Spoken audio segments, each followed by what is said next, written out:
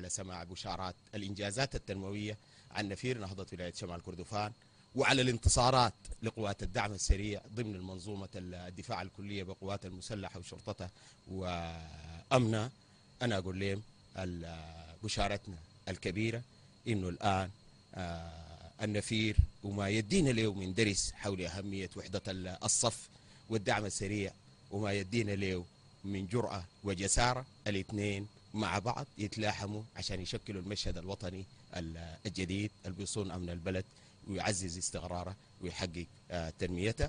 يربطنا حبل وما بقطعنا سيف إن شاء الله.